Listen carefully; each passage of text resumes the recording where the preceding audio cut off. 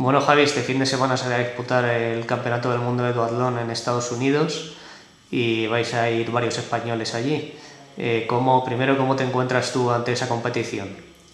Bueno, la verdad que este año, desde invierno que me operé los tendones, pues he tenido una temporada un poquitín irregular. Al principio me costó mucho hasta que cogí ritmo, tuve molestias, luego cada vez he ido entrando mejor, eh, con mejores sensaciones, entrenando más y compitiendo mejor.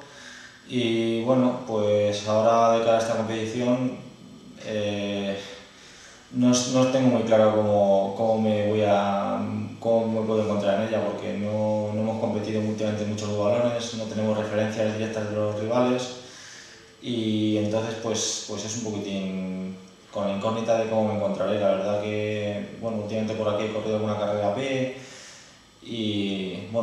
pues la verdad que no me he encontrado mal. Tal vez no estoy en la forma de algún año que he ido optando a medalla, porque es eso, además este año he sido con todas las lesiones ha sido poco difícil, en verano también tengo un poco de ciática, pero, pero vamos, eh, lo que puedo, puedo, dar por seguro es que yo creo que tanto yo como los, el resto de los que vamos ahí vamos a ir a, a luchar y a intentar dar un poquitín, dar la sorpresa.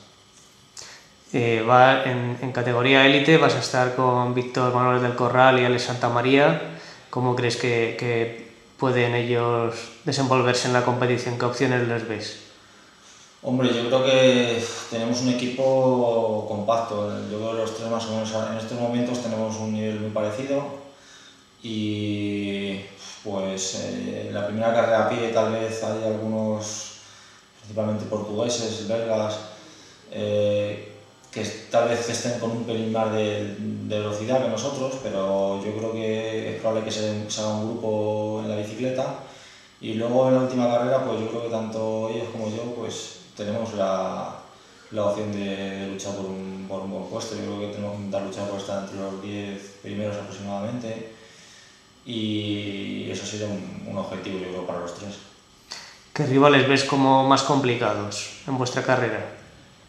Eh, pues por, yo creo que, que, hay varios rivales muy importantes. O sea, Paul Amy ha, ha, ganado tres títulos de duatlón y este año estaba haciendo más pruebas de doble, doble olímpico en triatlón y eso, pero, pero es un hombre que siempre en los mundiales de duatlón se desenvuelve muy bien.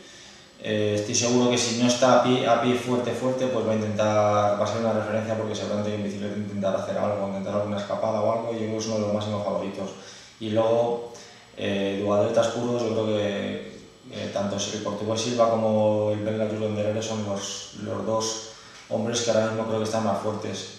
Luego habrá que ver al ruso Yakolev, que en el europeo estuvo muy bien, pero en verano está un poquito desaparecido. Y luego también eh, yo creo que un poquitín vale tapado, pero para mí es uno de los un favorito muy importante es el, el americano Schumacher, el triatleta, porque precisamente ahora mismo lleva el ritmo de la, ha estado corriendo todas las dos series en triatlón, ha ganado una, lleva el ritmo de, de, lleva mucho ritmo de competición y sobre todo si se baja un grupo a correr en la última carrera yo creo que le puede venir muy bien. Y en cuanto al resto de la selección española, ¿qué, qué destacarías? Pues sobre todo, hombre, ahora destacaría los juniors porque son un equipazo. O sea, está Mario Mola que, que ha quedado, acaba de quedar campeón del mundo triatlón, eh, ganando una carrera a pie increíble a, a, todos los rivales. Esto es un duatlón, yo creo que incluso le viene mejor aún que, que, el, que el triatlón, entonces yo creo que es favorito número uno. Y luego está, claro, Jorge Naranjo, que en este momento es campeón de Europa, y Oscar Vicente, que ha sido ya medallista. Entonces, con ellos puedes pensar en cualquier cosa. O sea, a simple vista yo veo los rivales y vamos, no podría descartar ni siquiera hasta un triplete. O sea, es increíble. O sea, yo creo que el futuro con estos juniors está más que asegurado. Y en chicas, pues van a Burgos y Inmaculada Pereiro. Tienen también algunas rivales importantes. He visto que está Frintova. Eh, eh, Samantha Warrimer, eh, luego las francesas de duatlón y bueno, yo creo que también tienen nivel para hacerlo muy bien. Eh, yo también de ellas espero que hagan, o sea, seguro que Ana ya el año pasado consiguió medalla y este año pues yo imagino que su, su, objetivo es volver a conseguir y Matt tiene que estar también luchando por, por un puesto de finalista, perfectamente.